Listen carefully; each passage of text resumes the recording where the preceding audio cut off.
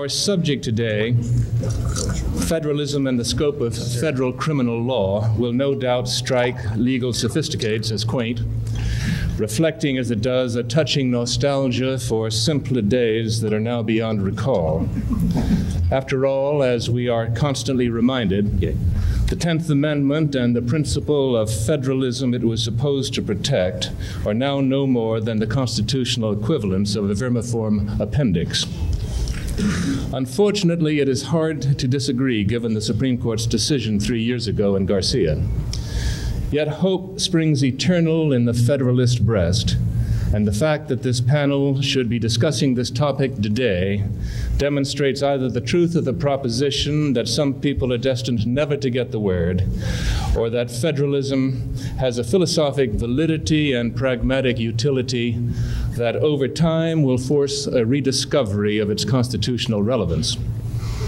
Of course, the Federalist principle was not always, has not always been considered an archaeological curiosity in a lecture de delivered towards the end of the last century, the great British historian Lord Acton had this to say about our Constitution as originally enacted.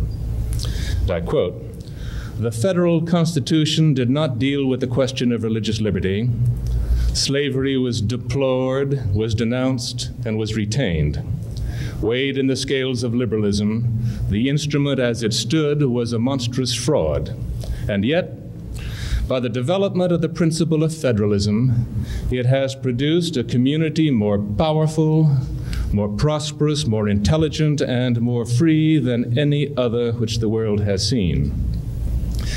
This assessment was by no means unique to Acton. During most of our history, federalism was considered one of the essential elements of the American polity. Thus, what is surprising about today's topic is not that it should be discussed at this time, but rather that it should never have been discussed before.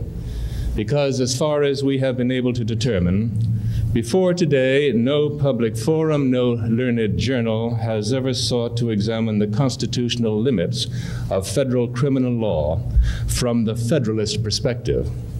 After all, the expansion of federal criminal authority in areas that had previously been the exclusive concern of state and local governments is hardly new. It was 116 years ago, with the enactment of the Post Office Act of 1872, that Congress first used its postal authority to criminalize acts that posed no obvious threat to federal interests, namely the use of the mails to commit fraud, conduct lotteries, and distribute obscene material. From this humble beginning, Congress has found it necessary and proper in the exercise of its postal and commerce powers to impose criminal sanctions on an ever growing catalog of activities. Over time, Congress has been shown particular ingenuity in realizing the potential of the Commerce Clause whereas in earlier days it was usually necessary to establish that a person or object had actually crossed a state line before federal criminal sanctions could be invoked. it is nowadays quite enough in many cases that the prescribed act be found to affect commerce. And given the unlimited uh, imagination of our lawmakers and the seemingly unlimited tolerance of federal courts, Today, it is virtually impossible to conjure up any human activity, with the possible exception, I suppose, of daydreaming, that some court will not find to burden interstate commerce. Witness the Supreme Court's 1971 decision in Perez versus United States, which found a quintessentially local loan sharking operation to affect interstate commerce. As Justice Stewart pointed out in dissent, under the statute the court majority had voted to uphold, quote, a man can be convicted without any proof of interstate movement or of the use of the facilities of interstate commerce or of facts showing that his conduct affected interstate commerce. I think, Justice Stewart continued, that the framers of the Constitution never intended that the national government might define as a crime and prosecute such wholly local activity through the enactment of federal criminal laws. This encroachment uh, on state and local turf has had its practical consequences. With the proliferation of federal criminal statutes has inevitably come an exercise of dual sovereignty over large areas of criminal activity. And with dual sovereignty, the prospect of dual prosecutions and of exposure to double jeopardy, in fact, if not always in nice legal theory. It is hardly surprising that such problems have raised concerns over the reach of federal prosecutions, although these concerns have generally been in terms of utilitarian rather than uh, constitutional issues. There is something inherently haphazard about criminal laws that depend on the often fortuitous crossing of a state line. As Judge Henry Friendly once observed, I quote, why should the federal government care if a Manhattan businessman takes his mistress to sleep with him in Greenwich, Connecticut, although it would not if the love nest were in Port Chester, New York? Why should the federal government be concerned with a $100 robbery uh, from a federally insured savings bank, although it is not if someone burned down Macy's? Judge Friendly's remarks were directed to the rationality and efficiency rather than to the constitutional legitimacy of certain exercises of federal criminal authority. He did not reach the issue we address today, namely the limits, if any, that are imposed by the Federalist principle on the scope of that authority. That inquiry seems to have lain dormant these many decades and has only lately been brought into focus by the Supreme Court's decision last year in McNally versus United States, which found that the mail statute, a fraud statute did not prohibit, quotes, schemes to defraud citizens of their intangible rights to honest and impartial government. It tells us something about the prevailing orthodoxy, I think, that this decision created headlines not because it marked a further intrusion of federal authority into state and local affairs, but because it marked a federal retreat. And I might add, it also tells us something of the limits of philosophy and even the most philosophically driven presidency, because the Reagan administration's response to McNally has been to approve a bill that will grant the federal government explicit authority to prosecute political corruption at the state and local levels. Nonetheless, the McNally decision sparked a debate among Federalist Society moles within the Department of Justice that focused not on whether such prosecutions could be arguably squeezed within one of the federal government's delegated powers, but whether they encroached on responsibilities constitutionally reserved to the states. This debate, I am told, was the genesis of the topic this panel has been assigned this morning and will now proceed to discuss. We now turn to our panelists who will speak to us in inverse alphabetical order. This is a nod to the counter revolutionary mood of the society. Uh, our first uh, panelist is Professor William Van Alstyne. Uh, Perkins, a professor of law at Duke University. He earned his law degree at Stanford Law School. Professor Van Alstyne has served as a member of the National Board of Directors of the American Civil Liberties Union and can no doubt certify uh, that being a card carrying member of the ACLU does not necessarily disqualify one for public office. Professor Van Alstyne also has the distinction of having served in the early 1970s as a consultant to the Senate Judiciary Committee on certain Watergate matters. He has been president of the American Association of University Professors and has uh, published numerous articles in the field of criminal law. Professor Van Alstyne.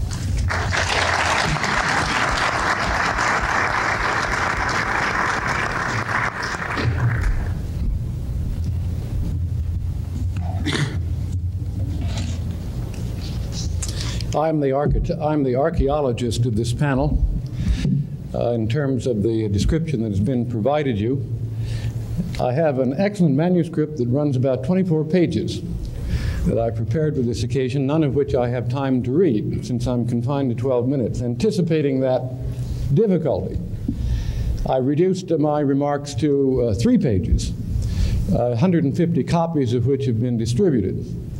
And anticipating that I might not cover the three pages, I covered those with one page, which shows you three graphics. And that indeed is a summary of what I will devote myself to.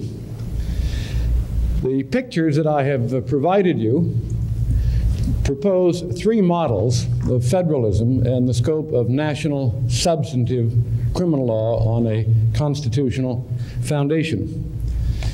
Two of these models, I trust, after a first glance, may become at once familiar to you. The third and first one, I suspect, is entirely novel, though I will spend a few minutes with that. Judge Buckley has uh, suggested that uh, the, the classic tension in which people are interested, if they are interested in the subject at all, is primarily between the allocation of power to the national government and, quote, the states. That's a perfectly correct description, to be sure. Uh, yet I want to look at it in a slightly different way and to try to advertise, therefore, the congruence of my pedigree as a former member of the National Board of Directors of the ACLU and this puzzling emphasis upon states' rights, which will try to orient my talk to you in a, uh, in, in a light I find more congenial. The interest in civil liberties, for my own sake and more generally, is not exactly fungible philosophically or in my own view with states' rights. It is rather an opportunity by means of which people in the United States may attempt to find a community which is congenial to them by any one of three ways, the last of which makes the principles of federalism absolutely indispensable. One of those ways, of course, is by means of the First Amendment, by giving expression to one's own point of view as to what the laws ought to be in the community where one lives and by prevailing as a member of the majority, bring that law into effect to establish the conditions of protection and choice that one prefers. Correspondingly, to vote. But third, to exit. That is to say, to take up and move to some other community where the social attitude toward standards of decency, toward the act of sodomy, may indeed be different. It may be less permissive or more permissive than the alternative culture. And I start with that point. Partly because I see in the literature of the Federalist Society itself a certain neat schizophrenia. There is in the publication that he's often used, and quite rightly, to recruit members to the Federalist Society an emphasis on civil liberties, separation of powers, and federalism. There's also a note in the interest of using national power to bring about a more conservative society.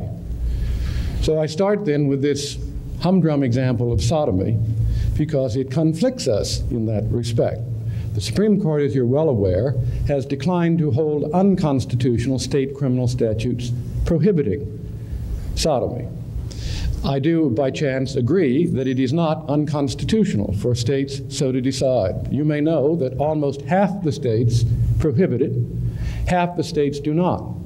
You may not know that about a dozen states not only do not prohibit it, but establish it as a civil right. That is to say, as a matter of private choice, which is no one else's business to use in a legal way adverse to one's interests. The Civil Rights Statute of the State of California makes it a civil wrong to discriminate in business environments based upon the sexual orientation of the residents of that state. A majority of the persons in my jurisdiction may find that almost criminally indecent. I assume that at least a prevailing majority of California residents find that it speaks well of the condition of civil liberty. Federalism alone is what makes it possible when one's voice and vote fails, rather than to exile oneself from the United States by moving all the way to Holland or Denmark, as the example might be, of seeking shelter in some community whose orientation as to what is and is not acceptable, what shall be and shall not be punishable, what kinds of human life taking may be excusable self defense or not excusable self defense, that these large margins of difference permit one, therefore, to escape a monochromatic homogeneity that always results in the imposition of a single national law. Thus, my own interest in this topic is not to be misunderstood or, in fact, elderly understood as, quote, the turf of states' rights. For there is, of course, on the darker side of federalism, a concession to the ferocity of state autonomy when it may tend to operate in pernicious ways, in a way which one then would like to overrule, preempt, or veto by national authority. My view of that is that it is always a danger, but that it is superintended not by Congress preempting the states in general, but by the restrictions perfectly rightly imposed by the states by the 14th Amendment to protect all persons against state action of a fundamentally pernicious character, and indeed to enable Congress to enforce that protection by suitable national law. It is therefore a doubtful proposition in the first instance as to pursuant to what complement of enumerated powers, very few of which were originally and indeed have ever been vested in Congress, pursuant to which nationwide intolerant majorities now demand having things entirely their own way from sea to shining sea. The model which prevails in the United States, as Judge Buckley has, has already uh, wittily introduced, is featured on the handout that I provided you in Roman numeral 3 called the modernist view. I will look at it briefly and then simply contrast two others, including the first, which I've introduced precisely because I think it's so interesting, so sharply contrasting, and intellectually uh, so uh, curiously defensible. In this third model, you will notice that I've placed indeed the range of congressional power on top as it belongs, over the range of powers among state legislatures, on top because it will always control, and rightly so when it does apply, pursuant to the Supremacy Clause in Article 6. The entire gray zone is here characterized as clauses deemed to authorize Congress to define crimes against the United States. At the left hand margin, you will note that it extends even into some areas where states may not operate by criminal law at all. And that is a continuous feature of all three models, and one in which I do not doubt is correct. An easy example is the enumerated power vested in Congress to punish piracy on the high seas or offenses against the law of nations.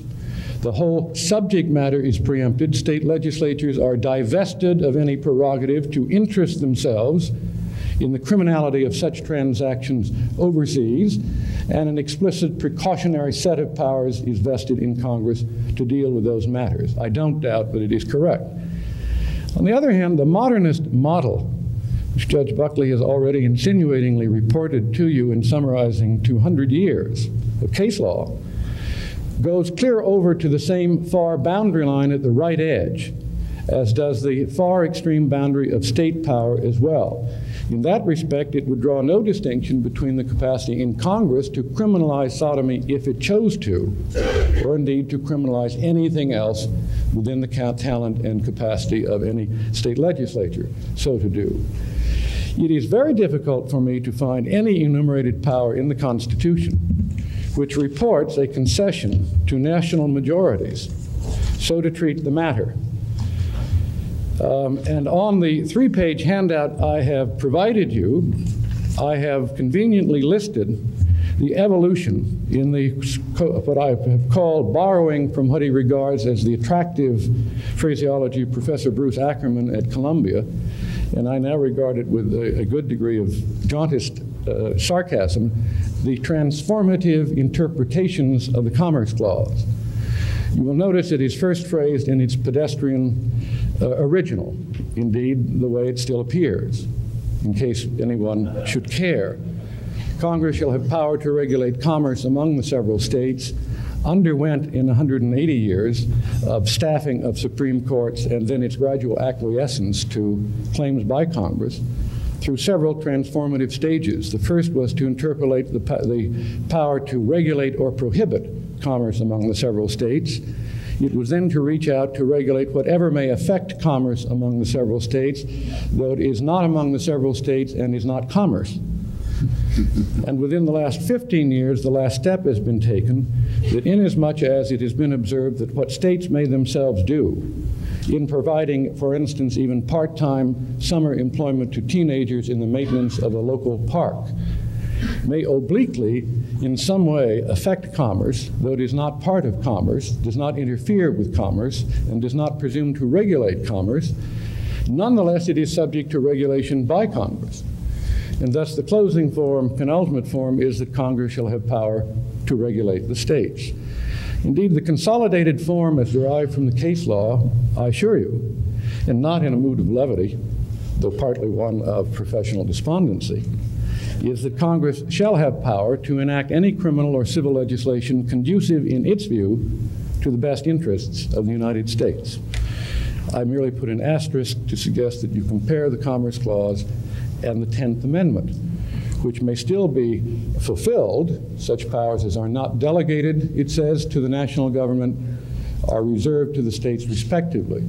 But if you attend then the ultimate definition and look at the corresponding graphic, there is no power not delegated to the national government, thus there is nothing reserved. The 10th Amendment has been construed literally to constitute an empty set. The other models I want to draw attention to and then come back to a civil liberties theme, which I find surprisingly interesting and, and wonderfully supported by famous New Deal judge, Felix Frankfurter. The other models report two different views. The one in the middle is the conventional one.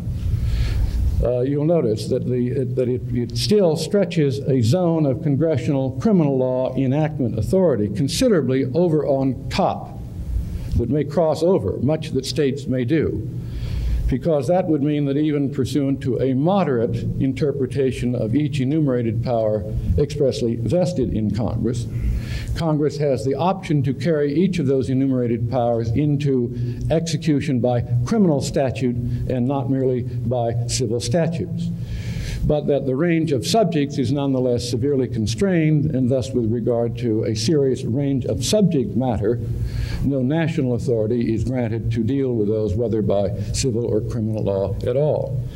Rather, in the short time I have, I want you to look up the first model because under a very entertainable, strict construction view of the Constitution, indeed a view which John Marshall used in an equivalent circumstance in the most famous case in American constitutional history, Marbury versus Madison. A strict construction view would have confined Congress very narrowly indeed. You will notice in that graphic the clauses authorizing Congress to define crimes against the United States now is very slight. It still shows that it extends to some things states can't reach. How does it get so small? It gets small in the following way. As you may not have noticed, there are about five or six express clauses in the Constitution that deal explicitly with a power in Congress to prescribe crimes and to provide for the punishment of those crimes. I've already mentioned one or two piracy on the high seas, offenses against the laws of nations. Another appears in Article 1. Congress is expressly vested with the authority to provide for the punishment of the counterfeiting of the national currency. Another and perhaps more familiar one appears in Article 3, which within limits allows Congress to define and to provide for the punishment of treason against the United States. What is the point? Point is that the subject matter of dealing with national power by crime, by criminal prescription and punishment, apparently is expressly provided for. It is arguable that by a process of strict construction, the Constitution having described in what environments Congress may proceed by enacting criminal statutes, it necessarily implies an exclusion of any authority to deal with anything else by criminal statute as distinct from civil statute. Take, for instance, the example Judge Buckley gave you, the use of the postal power.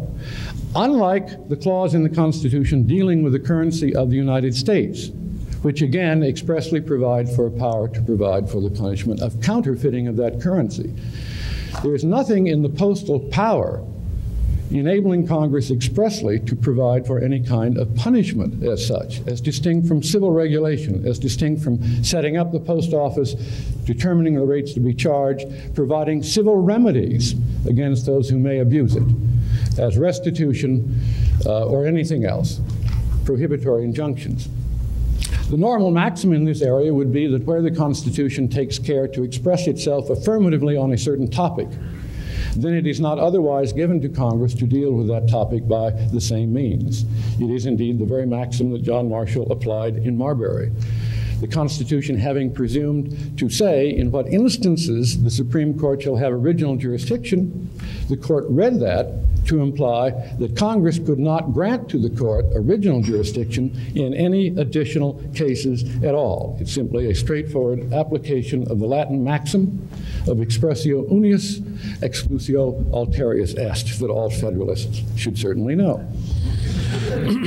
now, I present that to you not ultimately because I believe it correct, but because I believe it cogent, logical, strong, and indeed, if one were of an inclination to construe the Constitution with some kind of outside telic agenda, that is, a purposive agenda, as a strong libertarian, the language will bear this construction. Your civil liberties, uh, uh, uh, intentions, and interests and aspiration would drive you in this direction. The precedent for applying maxims of this sort is numerous and strong. It could, I assure you, easily have been done. It is not correct, in my view, rather the middle graphic is correct, simply by chance that it would not faithfully report what was nonetheless contemplated in 1789. It is merely an excellent and ingenious argument. It is, however, an actual falsification. My point in presenting it to you, therefore, is merely to imply at the same time the modernist view is itself an equivalent falsification. The language will bear the various malconstructions which Congress has self servingly granted itself over a period of decades, and which an acquiescent Supreme Court has come to rationalize, abdicating its duty of Federalist review, which James Wilson, a nationalist in the Pennsylvania Convention, as well as James Madison, a Federalist in the Virginia Convention, insisted would be the most strenuous obligation of the Supreme Court to monitor the boundary lines of federalism, according to which the states could then safely ratify this gamble, this Constitution. It is a, an agreement, as it were, I dare say, that has not quite been kept. There is one additional complication. I said that I would refer to a surprising New Deal judge. In my view, the casualty of this modernist version has not merely been the archaeological loss, as it were, of federalism and the 10th Amendment, and indeed something lost to the diversity of civil liberties choice, of adding the feasibility of movement and exit to vote and voice. It has also now begun to create terrible troubles under still another provision in the Bill of Rights, and that is the double jeopardy clause in the Fifth Amendment. As I'm sure you know, successive prosecutions brought first by state and then by federal personnel, or first by federal and then by state personnel, on essentially the same disputed factual transaction, are generally tolerable despite the double jeopardy clause in the Fifth Amendment, solely because of the principle of dual sovereignty. So, to take the easy case, it may very well be that a state prosecutes a person for the state crime of larceny by trick, where the trick was that the person sought knowingly to pass counterfeit currency in defrauding another of their property. And the federal government, though the person is acquitted, is not then precluded from bringing a transaction to second guess the acquittal verdict of the state jury for the separate offense of counterfeiting the currency of the United States. Now, there is, in the first instance, no violation of the double jeopardy clause, though indeed the person has been put twice in jeopardy for exactly the same disputed activity. But it cannot be otherwise, and I acknowledge it to be so, because the interest of the United States is clear in forestalling the debasement of its currency, and that interest is simply not subsumed in the distinctive uh, interest of the state to protect persons from being defrauded through larceny by trick. In short, though there is double jeopardy, it is explicable and it is not logical, feasible, or constitutional to allow the interest of the one sovereign to be completely contingent upon the fortuitous outcome of the trial conducted by the other. But it is an endurable principle, an endurable qualification to double jeopardy, only so long as there are indeed genuinely separate sovereign interests at stake. What has happened is that, pursuant to the modernist view, it is no longer of constitutional consequence to try to discover why Congress adopted the law. Indeed, many acts of Congress, as you must be aware, are merely exercises of political Me Tooism. That is to say, Congress wishes to express its indignation over certain kinds of conduct for political uh, purposes, as it were. But to the extent that the law rests on exactly the vindication of the identical set of interests already subsumed in the fabric of the state's substantive uh, criminal law, one may not any longer rationalize the constitutional permissibility of bringing successive prosecutions and second guessing the verdict of haute acquit. Because of modernist doctrine, however, the Supreme Court is helpless to superintend the bona fides application of the double jeopardy clause. It is why, in my view, Felix Frankfurter, appointed by Franklin Roosevelt, who otherwise voted in the main to sustain acts of Congress, nonetheless dissented on pure federalism grounds in a very famous case involving an act of Congress that, that made, uh, that imposed a, a penalty tax on wagering.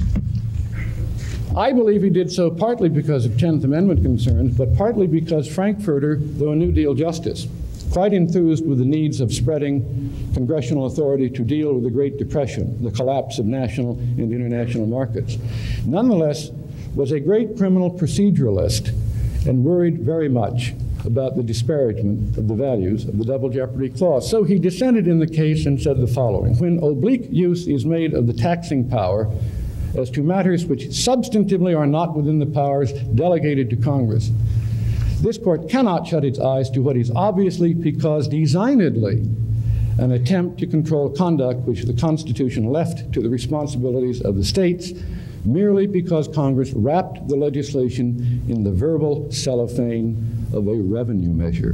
What a wonderful phrase. Verbal cellophane of a revenue measure. Why does Frankfurter, as a New Deal judge, care? Because he was strong on criminal procedure rights. Because if you read his case law in the double jeopardy field, you will see that he does not likely condone systematic violations of the principle of that clause by contemplating successive and harassing prosecutions being brought under the camouflage of dual sovereignty. If, however, you do not police federalism, you cannot police the double jeopardy clause the one falls victim to the machinations of the other. Indeed, I bring this archaeological recitation to a close simply by quoting again from a senator whom I wasn't very fond of when I came to North Carolina and gradually grew immensely fond of. Sam Ervin, who in the Watergate hearings at one time began to waggle those eyebrows and to remind us what a tangled web we weave when we practice to deceive. We have deceived the integrity of federalism, and we are now caught in a tangled web of double jeopardy anxieties as well. Thank you very much.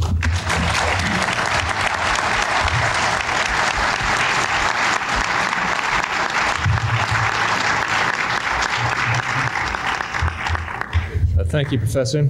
I have just one problem with your graph, and that's number two seems to me the width of that top line will be determined how strictly one construes the clauses that are deemed to authorize Congress uh, to define crimes.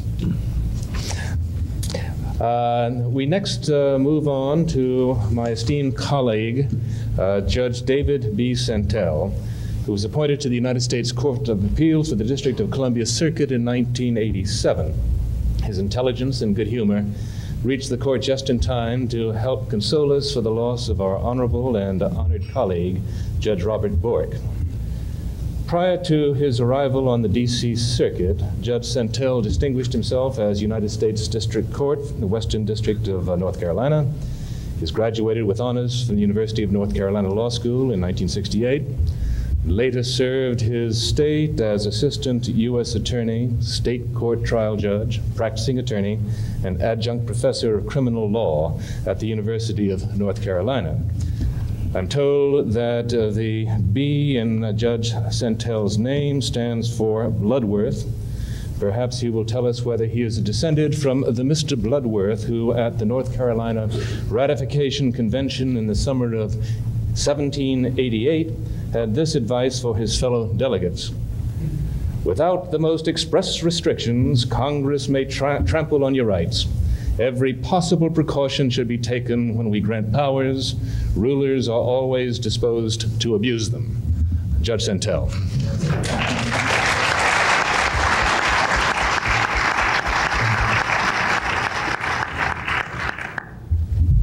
Two corrections and a statement of interest. First correction, Judge Buckley told me before we began that he was going to attribute to me an ancestor, and he did not want to know the truth of what my middle initial B stood for so that he could do that. It stands, in fact, for Brian, and uh, I can't claim the distinguished ancestry that uh, Judge Buckley attributes to me. The second disclaimer I'm not an academician. The uh, little thing in my biography that said I was a, uh, an adjunct professor of criminal law in fact, should have said at the University of North Carolina at Charlotte, which was in an undergraduate department for a very short time and not in a law school. So that I speak not from the podium of an academician, but rather from someone who practiced law for a living in various capacities and worked at the law, what we call working lawyers as opposed to teachers or judges. I presume that some in this audience do that work. Uh, and perhaps more will at some time. But in any event, I speak from that perspective. And to expand that statement of interest, as Charles Fried did yesterday when he began, is to speak on a case he had lost. He pointed out to us that he had lost that case. I was not in McNally, but a couple or three years before McNally, I had argued the same position that the defense argued in McNally in much lower courts, the district courts of North Carolina, U.S. district courts, with much, well, much less success than the defense did in the Supreme Court. I defended cases where people who had been accused of being involved in the ancient North Carolina industry of vote buying were charged not under election laws, but under, well, they were also charged under election laws, but they were charged under the mail fraud statute for defrauding the people of North Carolina out of their honest government and their honest elections. Like the McNally defendants were charged for their dissimilar scam for uh, defrauding the people of their state out of their honest government. I argued to the district court with a singular lack of success that this was not the intended reach of the mail fraud statute, and it was not proper federalism the district court did not agree. I never went any higher with the argument because I was fortunate enough to prevail on other grounds when the matter got to the juries in each instance. But I did not think then that I was committing any act of sophistry. I thought I was not only being a professional defense attorney at the time, but I was being correct. I'm one, I guess, Judge Buckley, of those who hasn't gotten the word and perhaps never will because I don't believe that the 10th Amendment was intended to create an empty set. And perhaps if we see it today as an empty set, it's because we're not looking to see what is in there but has been veiled by uh, an improper treatment of the constitutional division of the powers of rule. We were told yesterday by Professor Grano, and I think quite rightly, that we should not cede the ground of Miranda or the ground of the exclusionary rules, we should not concede that the story is all told on that and that we're going on from there. I think the same is true of our very fundamental principle of federalism that the 10th Amendment makes more or less explicit, but which I think is throughout, and that is that the criminal power, the police power over criminal acts, is reposited with the states except where it is taken away by the Constitution or generously under the Supremacy Clause by laws made in pursuance of, by Congress in pursuance of the Constitution. And I think the prosecution in McNally had violated that principle of federalism and the principle of separation of powers. Because I think it plain, and I think Judge Rehnquist is entirely correct, that when Congress enacted and reenacted and reenacted and amended in various forms the mail fraud statutes over the years, Congress at no time was legislating a regulation of corruption in state governments or in any other form the deprivation of so called intangible rights. What Congress was intending to legislate about in at least arguably necessary and proper protection of the postal power was the use of the mails to deprive people of their property by schemes and artifice to defraud, as the statute describes them, what we might commonly call scams or cheats or whatever, but directed at taking people's money away from them, not at corrupting their government or depriving them of any form of intangible right. Now, in McNally, I think the result could have been very different. If you look at the particular, I think it was a scam involved there. There were, in fact, property rights being taken, there was money being defrauded, but I think this idea of central government pervasiveness, which has invaded our federalism, had blinded some of the prosecutors as to what their proper role was. After McNally had just been decided, the same week I was at the Fourth Circuit Judicial Conference, and the same assistant U.S. attorney who had been on the opposite side of both the vote fraud cases that I had argued the McNally, pre-McNally principle in, came to me at a cocktail party.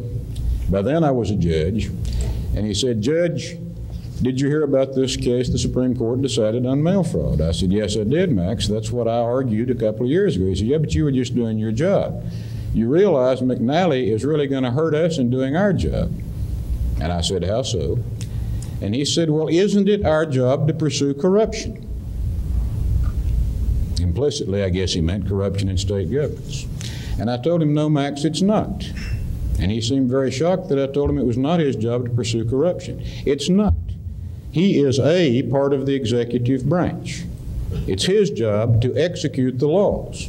If Congress, in some manner pursuant to the Constitution, did in fact a, uh, when they do in fact enact statutes that involve the pursuit of corruption, the prosecution of corruption, then it's his job to execute that law. But when they enact a mail fraud statute, dedicated instead to the protection of property rights, then the proper role of the executive is to pursue those scams that are depriving people of their property rights by the use of the mails, those scheme and artifices, use of the mails in furtherance of the scheme. Not only is it a violation of the legislative province by the executive to step over and redefine what Congress is going after, but it is further a violation of the prerogative of the states. Without speaking, and perhaps I shouldn't in a non case or controversy fashion, as to whether or not Congress could constitutionally pursue the use of the mails in the corruption of state governments. And I think that's a nice question and one that perhaps some non judge on this panel should address. I'm not sure I should because I don't know what drafts Congress has before them at the moment. But without pursuing whether they could constitutionally, I think it is plain from the history of the mail fraud statute that they haven't yet. And whatever the maximum reach is of federal criminal law, the scope of its proper application is only so far as Congress has taken it away from the state. Until then, the state has the repository of the police power. Now, that lays to one side the question of what the state can legitimately do without violating the individual rights. Certainly, there are great limitations on the exercise of the state's police power by the 14th Amendment and by the incorporations that have been done and by explicit parts of the Constitution. But the state's police power is not limited by a federal override unless and until Congress constitutionally enacts something that does so. So I think the overuse of the mail fraud statute, evidenced in McNally and slapped down in Chief Justice Rehnquist's opinion, is in fact a violation of our federalism and of our separation of powers. And I think this decision in McNally was uh, foreshadowed by another Rehnquist opinion, which I also think was quite correct, from several years before he was Chief Justice. In 1974, at a time when I was a prosecutor, a case arose named U.S. v. Maze, that's M-A-Z-E, 414 U.S. 395, and it attracted very little attention because I don't think people outside of the criminal justice realm could see that it had an implication as to how the Supreme Court was possibly looking at certain things, or at least Justice Rehnquist was, who wrote the opinion for the court. In those days, I was a prosecutor, and I was a zealous prosecutor. Perhaps I was an overzealous prosecutor. And we looked at that mail fraud statute, and it said something to the effect it didn't say something to the effect. It said these words if I can find it. Well, I can't find it. So I won't tell you the exact words, but it, all right, I left it laying over there. Somebody's good enough to pass it to me. It criminalized the following whoever having devised or intending to devise any scheme or artifice to defraud, or for obtaining money or property by means of false or fraudulent pretenses, representations, or promises, ellipses, if you would, for the purpose of executing such scheme or artifice or attempting so to do, places in any post office or authorized depository for mail matter, ellipses again. Now, it specifically criminalized the use of the mails, the placing in mail uh, authorized depositories for mail matter, of anything for the purpose of executing such scheme or artifice to defraud. Now, what we used to do was find a scam.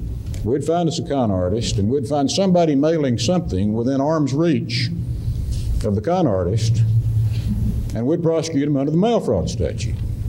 E.g., credit card fraud was very popular in those days. There were credit fraud rings. When you use the credit card, you generally do not use the mails. You go into a store and you put your little card out, and the man or woman slides it through the little machine, and you've got what you wanted. You bought a tire, which you took out and sold to somebody for half price, or you've bought a something else you could dispose of through a fence. You're through. But after you leave the store, the merchant then mails the copy of the credit card slip into the issuing bank, which then says, No, Mr. Merchant, this is not a good credit card. It was stolen, it was fraudulently obtained, or whatever. We started prosecuting that as mail fraud because of the mailing by the merchants. Well, Justice Rehnquist, and I think quite rightly said, that's an incidental use of the mails. That isn't a use of the mails for the purpose of executing the scheme or artifice to defraud. And he said Congress has criminalized only the use of the mails in furtherance of the scheme, and therefore you cannot properly and constitutionally prosecute this way. What we had been doing was invading the province of the legislative branch and I think at the same time the province of the states, because unless and until Congress constitutionally takes it away, it's the states to regulate. It wasn't a big jump for Congress to say it was necessary and proper to the postal power to regulate the use of the mails in frauds. Whether it's right or wrong was a debate that was probably had 120 years ago. It wasn't a big jump. But it's a heck of a jump from what Congress actually said to say that anytime somebody is involved in a scheme or artifice to defraud and the mails incidentally happen to be used, then the federal government, the central government, is going to get into that. To make that leap is an invasion of the legislative by the executive, assisted by the judicial, and it's an invasion of our proper federalism. Time is just about out, and I think I may be even a hair over. But I would say that the short of it is that to me, whatever the proper scope of federal criminal law is, it runs into a block of the state's power to be running the police power wherever the Constitution or the legislative branch of the federal government hasn't taken it away, and even then only when the legislative branch takes it away pursuant to the Constitution. Thank you.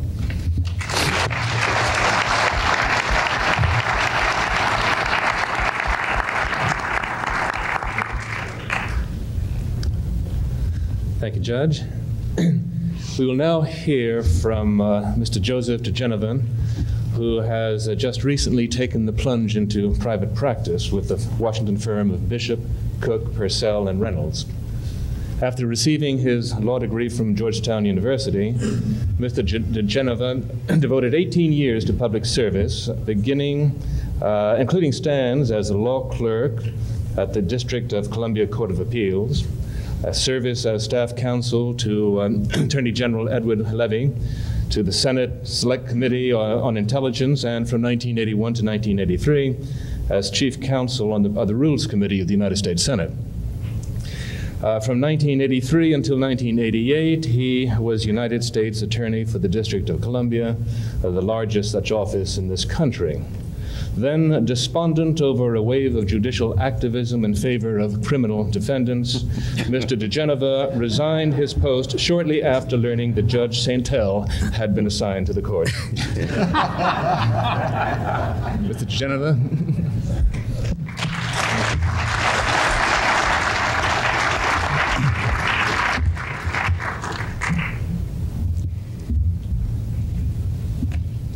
Judge Buckley, thank you very much. I'm uh, pleased and honored to be here this morning. I'd like to spend my time discussing McNally, which you heard alluded to in the discussions this morning, and bring it to life a little bit to demonstrate why it was significant and why what it wrought was significant. Um, I was frequently asked when I was United States Attorney for the District of Columbia what it was like to hold that job. And I opined at the time that it was a little bit uh, like being chosen captain of the U.S. Olympic javelin team and electing to receive. well, on June 24th, 1987, uh, I, along with uh, 92 other United States attorneys, woke uh, not knowing that we had been elected a captain of the U.S. Olympic javelin team and had elected to receive. And we thought it was safe to go back into the water that day.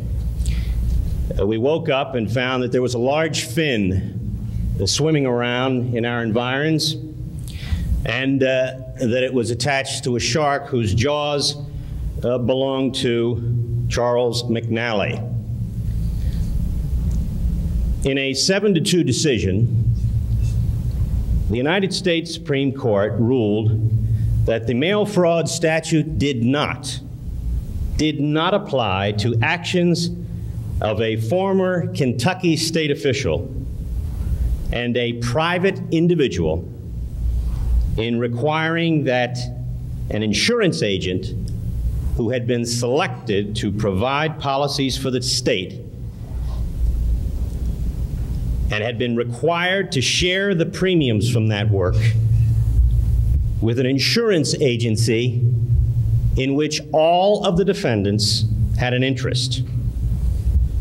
The reason was, according to the Supreme Court, that the mail fraud statute does not prohibit schemes to defraud the public to their intangible rights to honest and impartial government. Now, for those of us who had been using the mail fraud statutes for many years, we had heard during those many years the arguments which had been repeatedly rejected by federal circuit courts that the theory of prosecuting people for depriving citizens of their intangible right to honest and impartial government and we had seen the Supreme Court in the Mandel case deny cert on that very question. Some of us were a little confused because we couldn't find this particular interest spelled out in the statute. And indeed, the legislative history was abundantly clear that it had been designed to protect property rights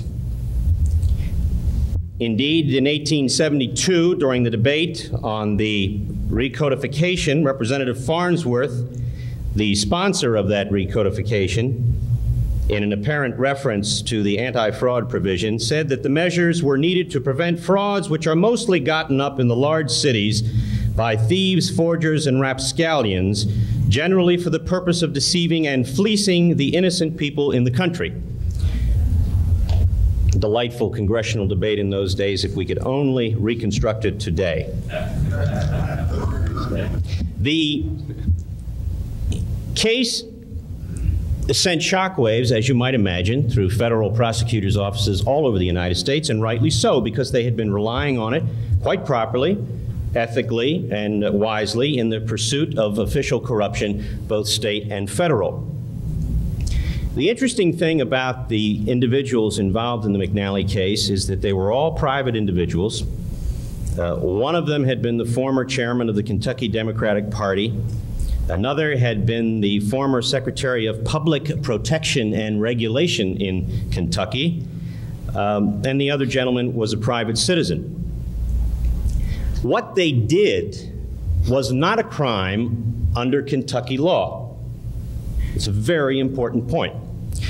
What they did was construed to be a crime under federal law under the mail fraud statute and was properly so construed by the federal prosecutors in that case because they were following not only departmental policy, but a long line of Federal Circuit cases from all over the country which said that this intangible right to honest and impartial government indeed was covered by the literal language of the mail fraud statute.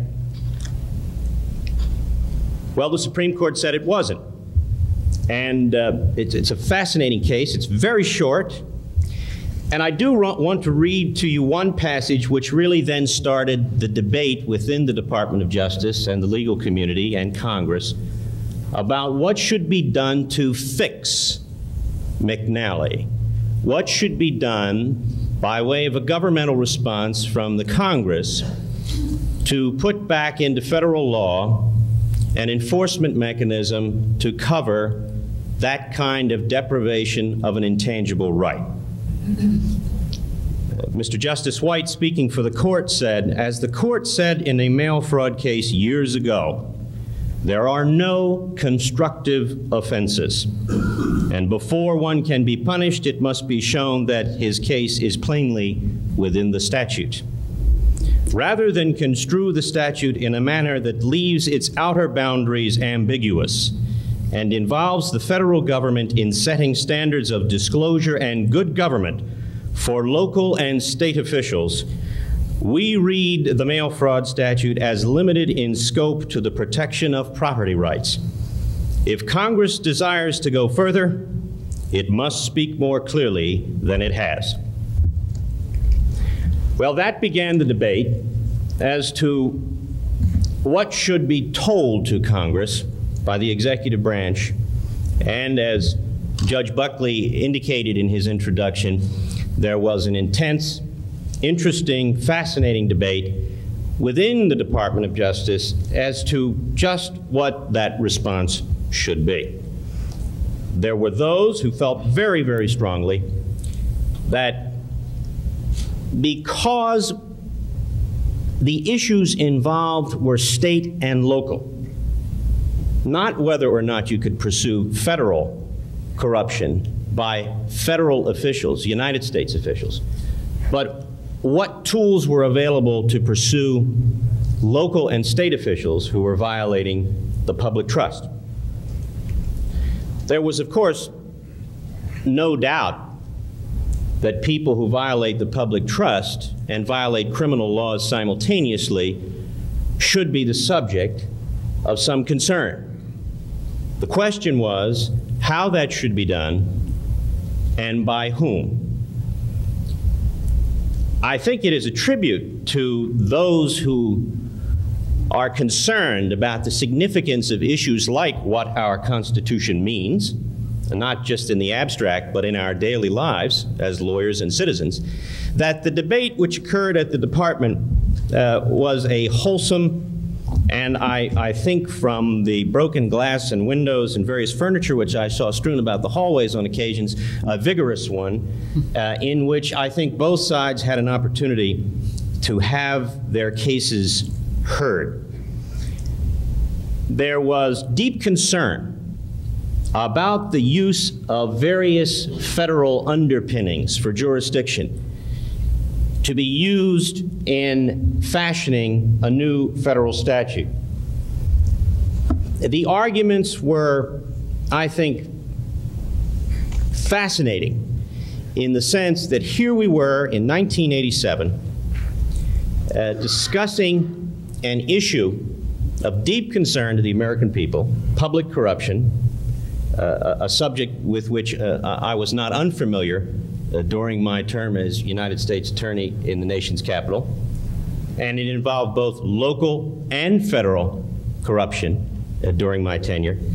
Uh, so I must say that I was transfixed uh, by the argument, not because I was involved in it, which I was not. I was one of those 93 U.S. attorneys sitting on the sidelines, wondering what, if anything, was going to be given to me as a result of this battle. I must tell you that I was initially concerned about the McNally decision. I was deeply concerned that federal prosecutors might be denied a very valuable tool in the pursuit of federal, state, and local corruption. I went back and I read McNally very carefully and I looked at the footnotes and I saw that the court was making some very fine distinctions about the kinds of instructions that had been given to the jury. Because McNally is not only a statutory interpretation case, it is a case about the kinds of instructions the judge should give in cases like this. Indeed, the court seemed to be hinting at some, in some places that had different instructions been given, a different result, result might have been obtained. And indeed, in subsequent cases from various circuits, the distinctions are now trying to be made by reading into instructions that were given that differ from the McNally instructions that certain property rights were in fact caught up in the crimes which were charged. That battle is now underway in circuits all over this country, with courts going both ways. At any rate, suffice it to say that within the department, there were very strong views about whether or not the Commerce Clause should be used to try and grapple with this right to honest and impartial government. And a very interesting argument was born, and one which I had no position on this. As, as, I indicated, I was sitting on the sideline saying, if you all wouldn't mind just sort of deciding this, I'd really like to have a tool given back to me in some form so that I can continue not to have sleepless nights worrying about this.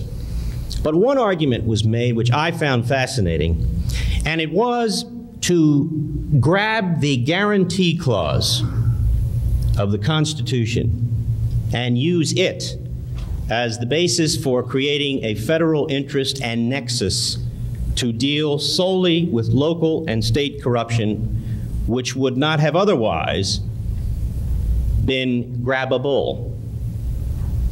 As you know, the Constitution itself requires that the United States, quote, guarantee to every state a Republican form of government, end quote. And that language which had not been used in the preamble of any federal legislation, to my knowledge, since the 1968 gun control legislation. There were individuals who made the argument that the state attorneys general and others, county attorneys, have problems in prosecuting these cases. Not just political problems, but real legal problems. In many instances, prosecutors' jurisdictions end at county lines. They, their subpoenas are worthless beyond those borders. Most of them do not have grand juries. Most of them do not have the ability to co compel people to testify before those grand juries without automatically giving them immunity. So there were structural problems that was being argued. Not constitutional problems, but simply structural problems. There was a need here, it needed to be filled. In addition, some states don't have grand juries, so that one of the most important tools for investigating corruption and schemes and artifices to defraud couldn't be used. And the argument went on that indeed, in some instances, there not only is a lack of legal will, But there is a lack of political will to pursue such cases in the state, local, or county context because the subjects of the investigation are usually uh, the individuals with whom party fundraising activities will be occurring within a matter of days. And so the fear was among one group in the department that states and localities would in fact be incapacitated because of their own legal structures. The response to that was not that states were entitled to corrupt government if that's what they wanted, but that states were entitled to structure their legal systems as they wished, and if those impediments existed in the state of Kentucky or anywhere else, that was a problem for the people of the state of Kentucky or any other state to solve through the ballot box by either A, throwing the rascals out, or B, restructuring their legal system. That was an interesting argument. It is an argument which has great merit in the sense of viewing the relationship between the central government and a state. The argument on the other side was that the federal government indeed had an interest under the guarantee clause in seeing that there was honest, impartial government at the state and local level, and that the federal government needed to manifest that concern because of the growing public concern about corruption through a federal statute which would bring back into the federal criminal code protection of that intangible right through some amendments to the federal criminal code. That occurred, and the department submitted to Congress in May of 1988 a statute which does, in fact, criminalize, or I should say recriminalize, the kind of conduct which was originally thought to be prohibited by the intangible rights theory of prosecution under the mail fraud statute. And I will simply read to you the proposed amendment to Chapter 11 of Title 18, a new Section 225 entitled Public Corruption. Whoever, in a circumstance described, endeavors by any scheme or artifice corruptly to deprive or to defraud the inhabitants of a state or political subdivision of a state of the honest services of an official or employee of such state or subdivision shall be fined under the statute or imprisoned for not more than 10 years, etc. The decision was made on the part of the department the 93 U.S. attorneys had let their views be known. They were very concerned that the absence of the intangible rights theory from the mail fraud statute would take something away from them that they needed very, very badly. The criminal division took the position that the statute was needed, and the Office of Legal Policy and Legal Counsel took the different view that the statute, uh, even as proposed, really went too far uh, in usurping what certain individuals viewed to be the legitimate prerogatives of states and the expansion of the federal role into this area. Congress has not enacted the statute, that statute. Uh, the debate continues on how to fix, quote unquote, fix McNally. The issue will remain a hot one because the issue of corruption is a, is a, is a matter uh, necessarily and appropriately of deep concern of not only public officials but private citizens who do not want their tax money misspent. But I, su I submit to you that as, as a person who has not been a scholar interested in the notions of federalism until recently, that the issue is an important one. That how we resolve this question in terms of the kind of federal legislation we pass on the issue, if any, uh, will tell us something about the way we will proceed in other areas. Uh, I, for one, having dealt with the area of public corruption, feel very strongly that prosecutors, assistant United States attorneys, and U.S. attorneys ought to have at their disposal appropriate tools to pursue these kinds of crimes. I have not made up my own mind as to whether or not this particular statute is the way to do it. I'll probably get there by the time the vote is cast. Uh, that will be irrelevant to everyone in this room except me, of course. But the truth is, it is an interesting and important question. And McNally and its aftermath demonstrate very, very strongly that the issue of the relationship between the United States government and the several states on, on the issue of how to deal with local and state conduct is alive and well and in need of our attention if it is to receive proper treatment. Thank you very much.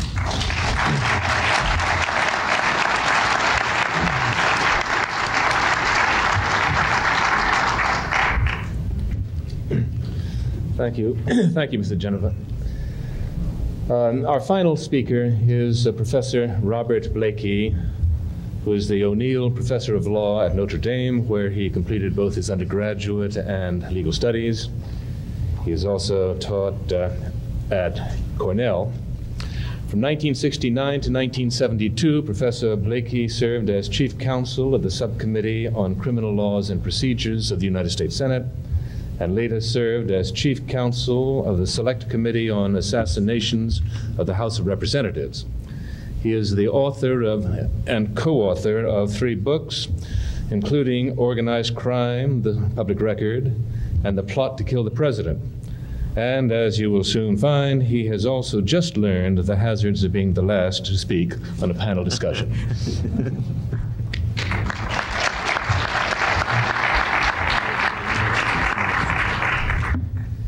Let me begin with a clarification.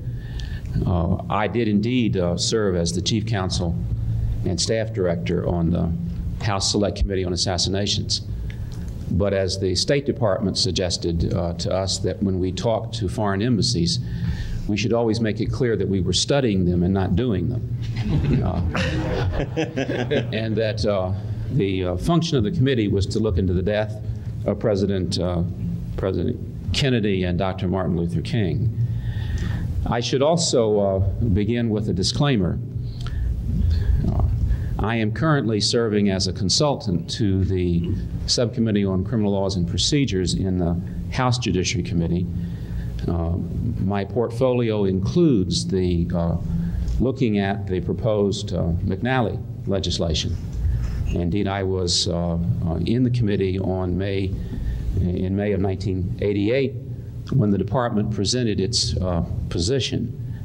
Um, the disclaimer is as follows My position here today uh, should not in any sense be attributed either to Mr. Rodino or, or to Mr. Conyers, uh, the two principal people for whom I work. I speak for myself alone. I surely will have uh, enough weight to carry to defend it without having anyone attribute anything I say uh, to those two gentlemen. Uh, let me begin with a comment on um, Bill's modernist view and associate myself uh, with it. Uh, I think today the function of the uh, allegation of federal jurisdiction in the area of criminal law as it is practiced is about the same uh, significance as the allegation of a lease and release in the action in ejectment. Uh, it has long since uh, ceased to be real and is largely uh, a fiction. Uh, I come to that uh, when I immediately thought, as Judge Buckley was speaking, that obviously daydreaming does affect commerce. Uh, uh, there is uh, fully accepted in the case law uh, construing the Commerce Clause a notion of depletion of assets. Uh, and by that means is if the effect of the activity is to deplete a victim's assets, uh, he has then less money to spend in commerce, and that, of course, affects commerce. Judge, if you spend too much time daydreaming, you won't be working. If you don't work, you won't have assets. And if you don't have assets, it's clear that that affects commerce. Uh, if anyone else wants to come up with an illustration of something that's outside the Commerce Clause, uh, please try. Uh, I've been doing for some time to do that, and it's just simply not possible. Uh, I was glad uh, to hear my good friend Bill also begin with a quote uh, from Mr. Justice Frankfurter, surely one who is uh, uh, a friend of federalism. And that's where uh, I would like to begin. Justice Frankfurter put it well when he said, In law, the right answer usually begins on putting the right question. And I think that if we're going to put the right question here, uh, and I would like to focus on the McNally question because I think it's a good deal uh, more real than uh, worrying about sodomy. Uh, Bill, in fact, uh, nobody is prosecuted for sodomy uh, anywhere today. Where sodomy prosecutions go down, they're normally public nuisance prosecutions. Uh, sodomy is indeed an issue in our society, but it is largely symbolic, it is not real. Uh, indeed, I would also comment at that point on uh, real. Uh, it's all well and good to point out that under the doctrine of dual sovereignty, you may have dual prosecutions.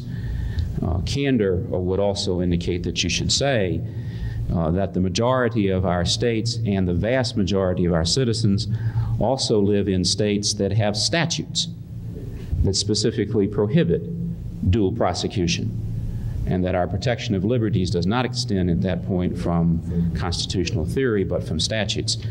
Uh, and therefore, the fear of double jeopardy as an incident of dual uh, sovereignty is like the fear of prosecutions for sodomy uh, illusionary.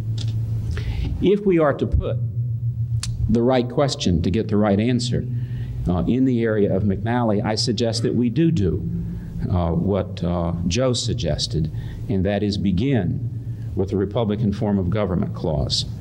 For my thesis is this, and it is simple.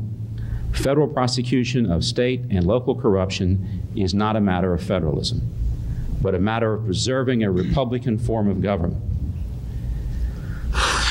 Let's begin with the text of the Constitution, for I fear too many of our discussions about federalism is a federalism without the benefit of the text of the Constitution.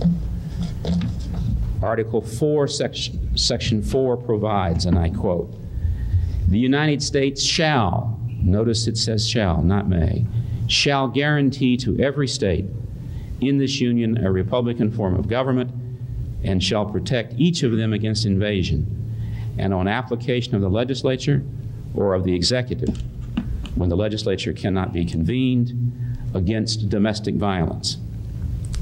Exactly what the founders meant by Republican is not clear. But if the word meant anything, it meant non monarchical. But Republican did not mean democratic, at least not in the pure sense of direct popular control and frequent elections. Yet the founders appeared to realize that the idealistic middle course of republicanism was not without its own shortcomings. In order to be viable, the new government of the United States would have to resist two principal threats to its integrity one, faction, and two, corruption. Quote, by a faction, unquote, Madison later wrote, quote, I understand a number of citizens whether amounting to a majority or a minority of the whole, who are united and actuated by some common impulse of passion or of interest, adverse to the rights of other citizens or to the permanent and, aggregated interests of the community. Close quote. Because of Shays' rebellion during the winter of 1786 1787, the consequences of faction were frighteningly familiar to the participants at the conviction. Advocating a strong federal power to suppress such rebellions, Mason stated, quote, if the general government should have no right to suppress rebellion against particular states, it will be in a bad situation indeed. As rebellions against itself originate in and against individual states, it must remain a passive spectator of its own subversion. The founders perceived susceptibility to corruption as another principal weakness of Republican governments. I now quote from Madison at the convention. Madison observed that the great difficulty in rendering the executive competent to its own defense arose from the nature of Republican government, which could not give to an individual citizen that settled preeminence in the eyes of the rest, that weight of property, that personal interest against betraying the national interests, which appertained to a hereditary magistrate. In a republic, personal merit alone would be the ground of political exaltation. Would, be, would rarely happen that this merit would be so preeminent as to produce universal acquiescence. The executive magistrate would be envied and assailed by disappointed competitors. His firmness would need support. He would not possess those great emoluments of his station, nor that permanent stake in the public interest which would place him out of reach of foreign corruption. He would stand in need, therefore, of being controlled as well as supported. Although the delegates were principally concerned with foreign corruption, they were not unaware of the potential for equally destructive effects from domestic sources. As recognized by Delegate Butler, quote, the two great evils to be avoided are cabal at home and influence abroad, close quote. The delegates also expressed their concern for corruption elsewhere in the Constitution.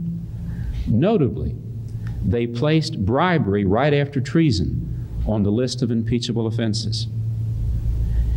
Advocating the new Constitution, Madison, Hamilton, and Jay attempted to articulate the concern that had motivated the delegates at the convention.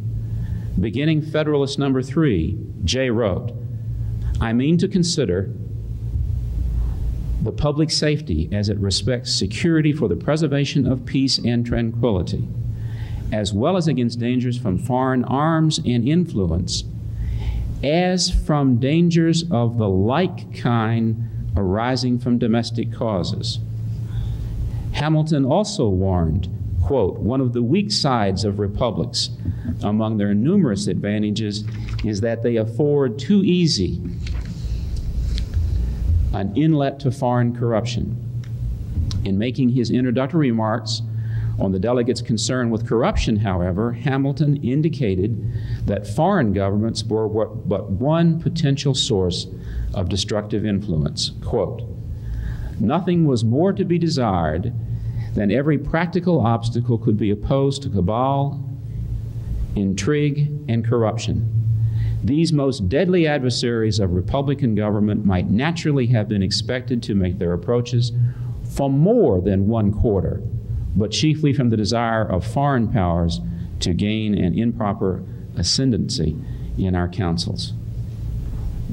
Hamilton added, quote, in Republican, persons elevated from the masses of the community by the suffrages of their fellow citizens to stations of great preeminence and power may find compensations for repair, re, betraying their trust, which to any but minds actuated by superior virtue may appear to exceed the proportion of interest that they have in the common stock, and to overbalance the obligations of duty. Hence, it is to that history furnishes us with so many mortifying examples of the prevalency of foreign corruption in Republican governments. I shall not continue to read these quotes, for indeed they go on and on and on. The point to be made is that the concern was not only about foreign gold, it was about domestic gold. And this was a concern possessed and animating not only the Federalist, but indeed the Anti Federalist who objected to the Constitution. This is not a Federalist issue. Let me quote from a speech made in the New York Constitutional Convention in 1788. Quote, this is by Delegate Smith. In so small a number of representatives, there is great danger from corruption and combination. A great politician has said that every man has his price. I hope that this is not true in all its extent, but I ask the gentleman to inform what government there is in which it has not been practiced is this an extensive country, increasing in population and growing in consequence? very many lucrative offices will be in grant of the government, which will be the object of avarice and ambition. How easy will it be to gain over a sufficient number in the bestowment of these offices to promote the views and purposes of those who grant them? Foreign corruption is also to be guarded against. A system of corruption is known to be a system of government in Europe. It is practiced without blushing, and we may lay it to our account that it will be attempted among us.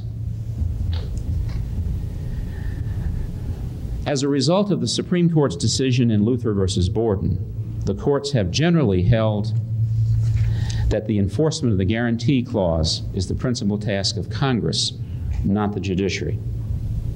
We have not, therefore, had that development of the themes in the guarantee clause that we've had in uh, the Commerce Clause and elsewhere. But I believe that a fair reading of the text, its original intent, in the context of the debates at the time, established the simple proposition that Congress has, as a matter of original intent, the power to act to protect state and local governments not only from foreign intrigue or domestic violence, but also corruption. If I am correct in this judgment, and I believe that I am, Congress has not only the power to act, it has the duty to act. The Constitution does not say Congress may, it says the United States shall, and I assume that Congress is included in the United States. Indeed, the United States, in the context of the Constitution at that point, includes the executive, the legislative, and the judiciary. And therefore, when the judiciary comes to construe those federal statutes that touch on local corruption, they are not being unfaithful to their duty to, withhold, to uphold the Constitution, but faithful to it in applying it as they had prior to McNally, without dissent at the circuit court level. No circuit had gone in, in conflict on McNally. They had recognized clearly that the phrase scheme to defraud was followed by the phrase or, and that the property aspect of the mail fraud statute followed, but was preceded by a scheme to defraud not qualified by property language and had held, rightly I believe, that we all as citizens had an intangible right, I would add, guaranteed by the federal Constitution itself, to a government based on merit and not on gold. Accordingly, I do not think McNally was correctly decided, either as a matter of the text of the statute or indeed as its, of its legislative history. I do not think it was decided correctly as a matter of federalism. I think it was decided wrongly as a matter of the Constitution as a whole. In 1789, the chief danger was from corruption by foreign gold. Today, it is domestic cash. Either way, it is the people who are cheated out of the blessings of liberty under a Republican form of government. And I see no reason in federalism why that should be tolerated. Thank you.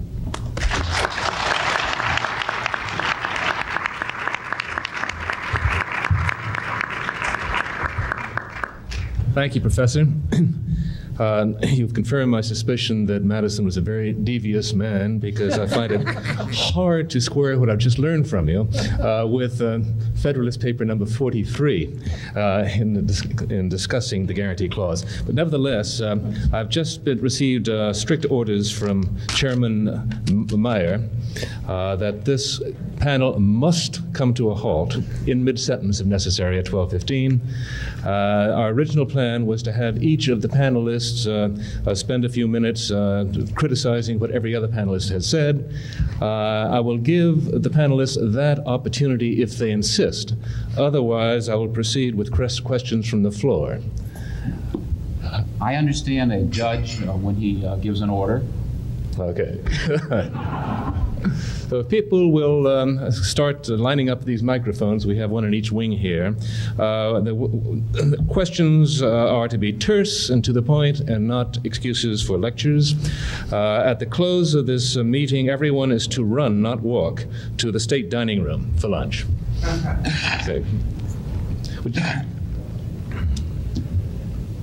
Um, if the um, if federalism really means anything, I'd like to know: Does the federal government really have the power to prosecute state crimes merely by saying that because the money received from the crime was not reported by the defendant on his 1040 form, which he filed the succeeding April, that this constitutes um, federal income tax uh, evasion? I'd like to know if federalism really means anything. Does the federal government really have the power to do this? I bring up the tax statute because it's a lot broader in, in scope than any of the statutes that have been mentioned this morning. I'd just like each member to say yes or no and then give their, give their reasons for their position. Who, let, let me, let me answer the question that way. If you don't pay your taxes, uh, you surely cheat the government. If you would hold that because the money was illegally obtained, that is through crime, uh, therefore it would follow that on the principle of federalism, you could not be uh, prosecuted for tax evasion, you would set up a double standard. One set of standard for the honest citizens who work and earn and necessarily pay their money, and another uh, standard for the racketeers. And the, tax laws would, would apply to the good guys and not the bad guys. And I see no hmm. reason in federalism to adopt that position. It is incidental that Al Capone was a bootlegger. He was also a tax evader, and he was prosecuted federally for tax evasion. At the time he was prosecuted for tax evasion, there was another case pending against him for bootlegging, which at that time was uh, a federal offense. When he got 10 years for tax evasion, the Department of Justice decided not to prosecute him for bootlegging on the grounds that it would be a waste of federal resources. Both decisions to prosecute him for bootlegging and for tax evasion seem to me to be perfectly rational and to raise no federalism problems. I concur with Bob. I concur completely. I don't see any difference in the tax obligation of a citizen who earns his living illegally, his income illegally in a state, and a citizen who earns it legally in a state. They both owe taxes. They both can be prosecuted for criminal failure to comply with the tax statutes. Okay. Uh, the next question, would would the questioners uh, direct their questions to one of the panelists? Uh, Well, actually, I- it's, I'm sorry. well, they- they Okay, can volunteer to answer. Under the principles of federalism, I would like any of the panelists to comment on the current frenzy, and not just the current, but been going on for quite some time, in regard to the drug laws. We heard yesterday the House of Representatives passed. These are all, let's face it, essentially local crimes. The transactions all take place at a place within a particular state. And there are, in every one of these states, these tran- tra- transactions are forbidden. And under the Constitution, there is no delegation to the federal government regarding drugs. How, under the principles of federalism, can we possibly support this type of legislation? And I would like anybody to comment on that, particularly somebody of, a- of a Federalist bench. Well, I'll try. Uh, I'll, I'll try, but this is not on, evidently. Oh. Actually, it's very complicated uh, because the current statutes will indeed make uh, it a federal crime to possess a single gram of marijuana that you may grow in a flower pot uh, on your own veranda. In short, the former connections having to relate it to uh, marijuana originating in a different state or in a foreign country have been abandoned in the more far reaching acts of Congress. And thus, one does find oneself uh, under your question in an actual situation that in the state of Alaska, the state Supreme Court has held under the state's constitution that the private possession for home consumption of small amounts of marijuana is actually a state constitutional right in the frontier state of Alaska. Nonetheless, though it has no commercial connection at all with anyone or anything else, a person who attempts to exercise that Alaskan constitutional right commits a federal crime. The reason your question is complicated, therefore, is that there are varieties of drug trafficking laws. I have no difficulty, for instance, insofar as the Congress of the United States does not wish to allow international commerce, whether in coffee beans or in marijuana. Indeed, the foundations for its distaste for coffee beans or marijuana is a discretion that is committed to it by its power to control commerce with foreign nations. But it does not stop there. And when it goes on as it has under the drug control laws, there is no doubt that at some point it then has clipped off and substituted for the acceptability of private conduct that the state sees nothing improper about at all, a supererogatory judgment of its own. Now, I don't doubt that that is in, uh, in, in every serious way inconsistent with the authentic Constitution of the United States. But I don't want to be misunderstood, therefore, saying all of the drug trafficking laws are of a piece. They are simply not. You have to deal with this in the lawyer like way. My difficulty with Professor Blakey's position, for instance, is, is not that there is nothing to be said for it, um, and I'll intrude the comment here, but that again, I think that the, uh, the principle he, he uh, he's in touch with may carry entirely too far. The idea that the government may intervene, for instance, to put, to put down a Munich beer style putsch, to overthrow a state government and to substitute a plutocracy, leads him to conclude that they, are, they may also attempt to interfere against kleptocracy. It is therefore a small step to say that any attempt to bribe a state official is a federal crime, even though it is simultaneously a state felony to attempt to bribe a state official. That's a very large gap. Most of us in constitutional law want to go very carefully when Congress presumes to exercise additional claims of powers, now under a newly discovered one, Blakey suppo- proposed one to guarantee a Republican form of government. Give me one other example and then desist just to make the larger point these are difficult but shaded and graduated problems. The only act of Congress the Supreme Court has held invalid for want of power to adopt it, without that decision in turn being overruled, in the last 47 years, only one was the instance where Congress presumed to lower the eligible voting age even in state and local elections. Many of you may recall it Oregon versus Mitchell.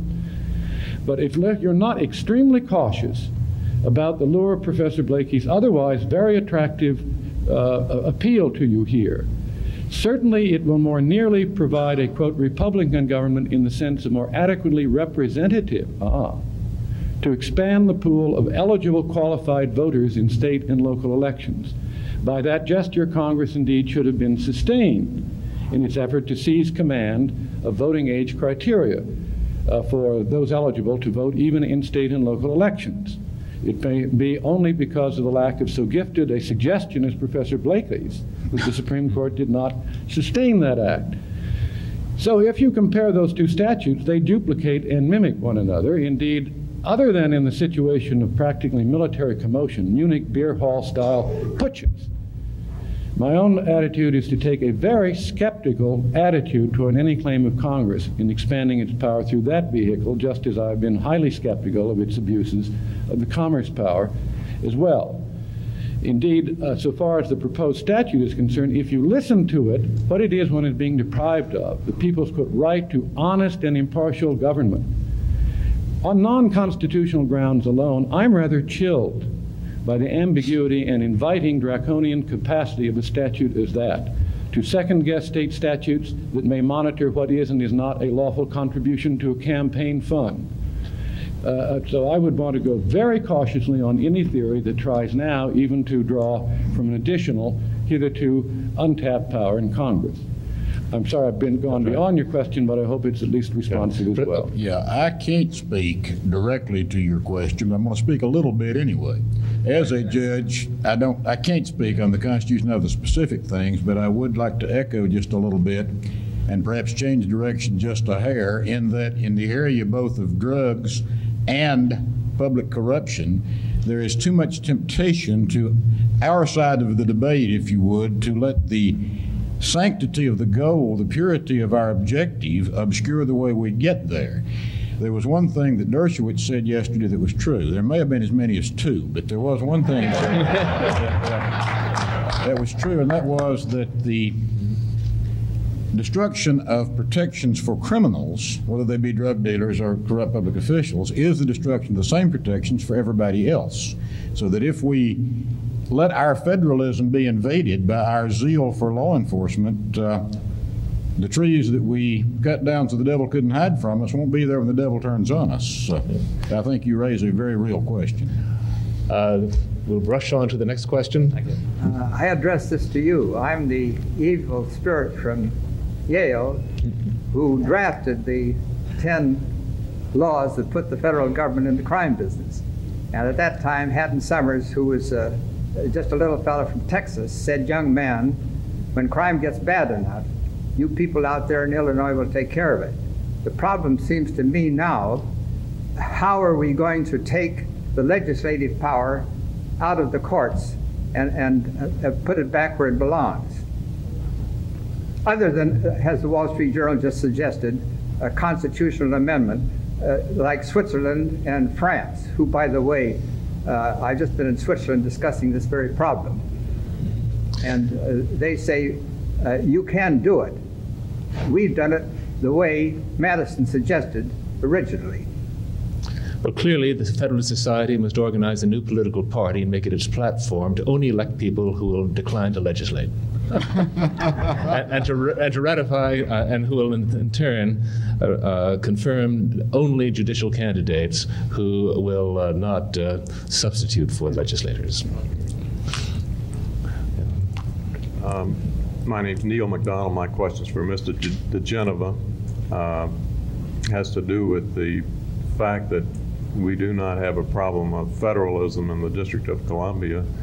And while you were sitting on the sidelines with the other 92 U.S. attorneys, uh, did that occur to you? And uh, if you could review for us the uh, legislative process in the District of Columbia with respect to uh, mail fraud and uh, tell us if uh, you think there should be a a separate bill for the district or whether it uh, will be covered under this bill. I think the, the, the, thrust of your question has been made. We have one minute for an answer. Well, let me just say that, that, that, there's a unique situation in the District of Columbia, of course, since this is a federal enclave. The United States Attorney, unlike the other United States Attorney, is also the equivalent of the State Attorney General and has the authority to enforce a local code which previously had been enacted by Congress and now new additions to which are enacted by the Council of the District of Columbia. So we had a few options available to us as the United States Attorney uh, which were not available to other federal prosecutors, and so we did not necessarily face the same problem that other United States attorneys did. Um, the need for a specific statute here does not immediately commend itself to me uh, in, in terms of the local situation because we have sufficient tools available to us at this point to deal with the problem. However, the fact that the mail fraud statute may be um, disembodied at this point with regard to certain intangible rights is a subject that needs to be addressed. Whether it needs, not because of the situation in the District of Columbia, however. Thank you, Mr. diGenova. Uh, we have finished on time.